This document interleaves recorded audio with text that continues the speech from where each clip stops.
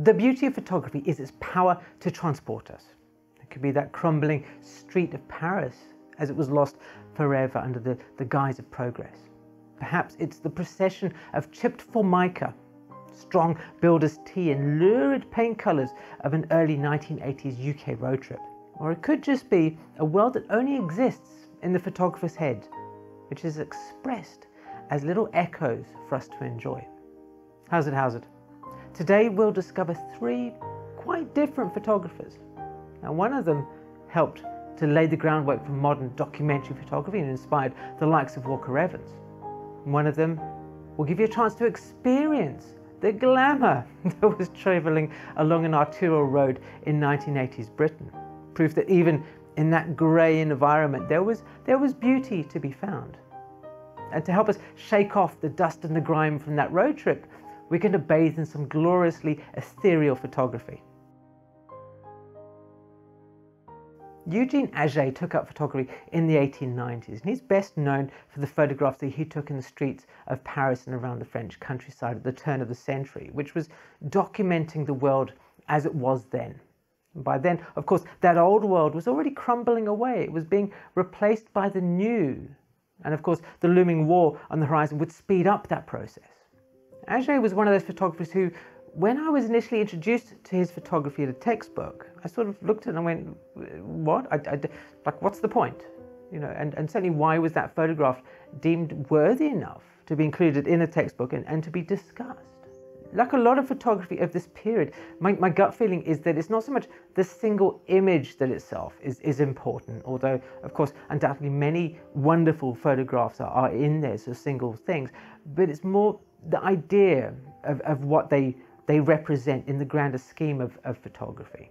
Now, obviously at the time, photography was a fairly new art form, and it's, and it's fascinating that it arrived on the scene just when the landscapes and cities of, of Europe, which had been, of course, barely touched really for centuries, were being lost brick by brick. And, and especially in Paris, which at, the time was being radically reshaped so it could, it could embrace the modern world. Atget had the presence of mind and, of course, the technical and aesthetic wherewithal to photograph these things before they were gone. He, in fact, branded himself as the creator and purveyor of a collection of photographic views of old Paris. Now, this suggests that his, his motives weren't strictly altruistic, and there was probably a looking of trying to make some money here. He was by no means the first photographer to document this, this kind of change or you know, to, to even be what we would consider now to be like a photojournalist.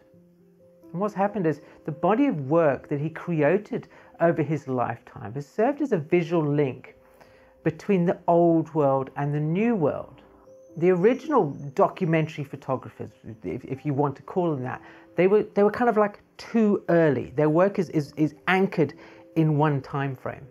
Of course, too late and Atget gets caught up in the rush of change and the schools like pictorialism and, and the photo secession when the, when the modern world is already underway.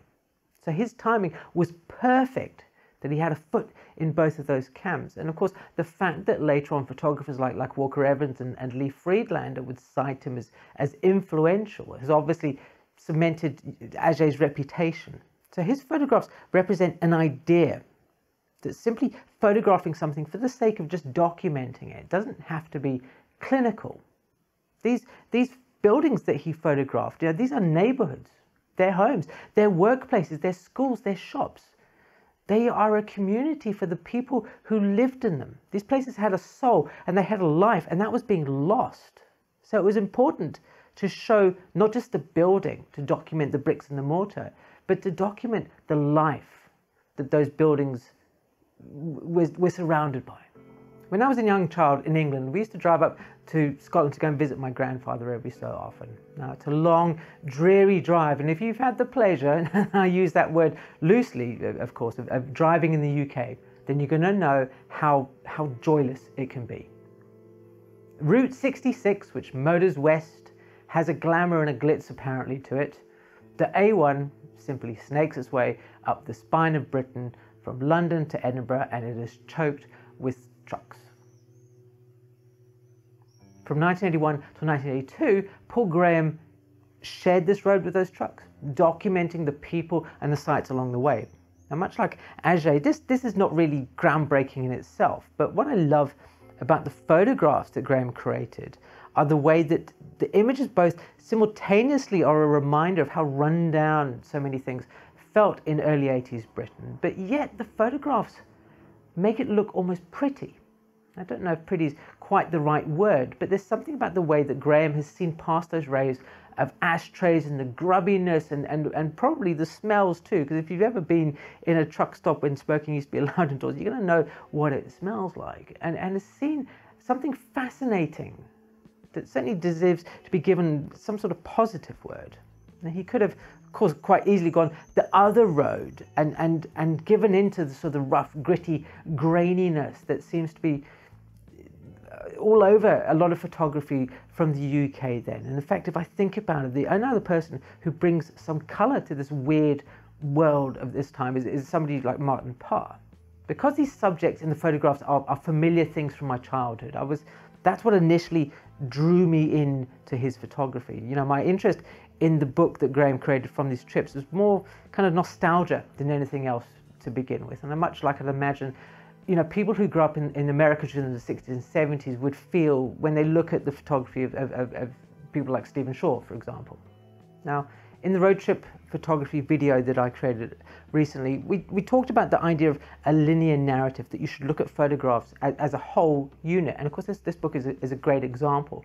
I've shown you the images somewhat out of context here, but, but the images in the book itself follow the physical journey from London all the way to Edinburgh It's a great device because, of course, you see the changing people, the changing landscape, the changing weather. Everything changes as you travel north, but the road, the road itself remains constant. And of course, when the road is the title of the book, that's an, an excellent thing to do.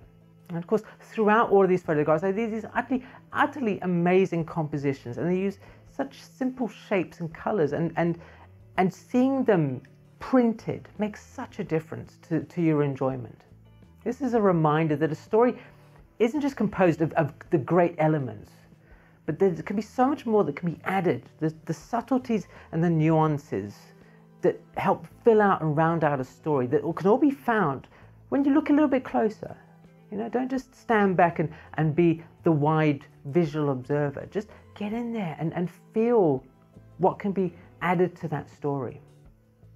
And this is what Paul Graham does with his photography. Those, those wonderful compositions balance out the damp reality and they make his photographs such an, a, a pleasure to experience. There are some photographers who benefit on, on some level from studying their imagery and, and reacting to it in a slightly, well, academic sort of way. And then there, of course, there are other photographers whose work I find just lends itself to, to sitting back and letting it wash over you. Sarah Moon is one such photographer. There's a quality to her photography that reminds me of so many things. Now, all of them are quite disparate and not really connected in ways that, that initially seem to make sense. I can feel the, the fingerprints of Norman Parkinson, the Bauhaus, Edward Steichen, and uh, a pinch of Paul Cézanne. Now, of course, he, he, look at me. I'm, I'm now saying we shouldn't analyze the work, and I'm trying to do just that. I, am listing off all the things I, I think you know, Sarah Moon has been inspired by, you know, trying to, to see what makes her tick. And of course, it doesn't really matter what makes her tick. What matters is what she's done with all of those inspirations and, and melded it to her own vision to make these photographs her own.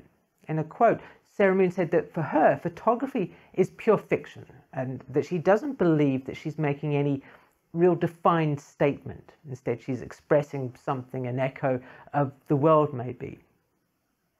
Of course, statements like that make my job a lot easier because it's far more eloquent than ever anything I could come up with uh, when talking about her photography. And, and there's a phrase in there, the echo of the world, which I, I love. I love the idea that these photographs are echoes. That each one has taken something we're, we're sort of familiar with, but slightly distorted it and changed it into something that we, we, that we recognize but isn't quite right. Finding one's own photography style is it, it's a never ending journey. And there's always going to be some sort of common vibe to it. If you look at Sarah Moon's photography, it, it changes. Some there's these these lovely black and whites. There's the colours, there's, the flower work. It all changes, but it always has her fingerprints all over it. And of course, that's that's what I think separates great photographers is they they can they can change and adapt, but still you know that there's images are, are theirs. There's that saying that, that looks are only skin deep, but style is, is to the bone. Throughout the course of his career, Atget's subjects, you know, they, they changed through, through necessity, but he always photographed them with the same eye and, and the same type of camera. He never changed from using the large plate cameras. Paul Graham's photography has, has expanded beyond the narrow confines of that crowded road on, on a busy island that's not really fit for purpose. But yet his photography still teases out those beautiful colour and shapes found in, in the most unlikely places. Sarah Moon, much like her namesake, waxes and wanes between approaches, but all of them, they feel delicate and, and fragile, like a little bubble that's just ready to burst at the slightest touch. Thank you ever so much for being here today, and I hope that you have a fantastic weekend.